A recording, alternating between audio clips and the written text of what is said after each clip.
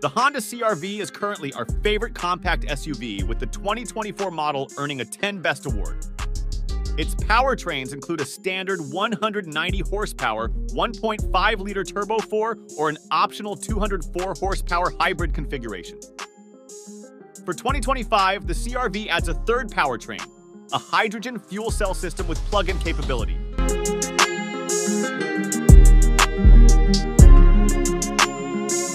The new CRV, which Honda refers to as the eFCEV, features the company's second generation fuel cell module under the hood where a conventional engine typically lives.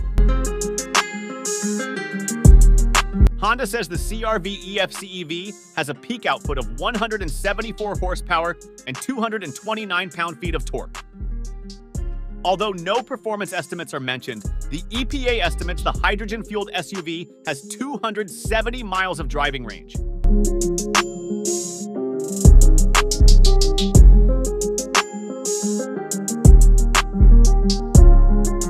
The 2025 Honda CRV eFCEV has a different face than its siblings.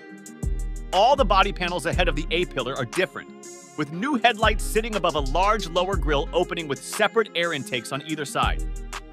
Honda says it also optimized various aero bits and tweaked the CRV's rear liftgate to go along with white elements in the vertical taillights.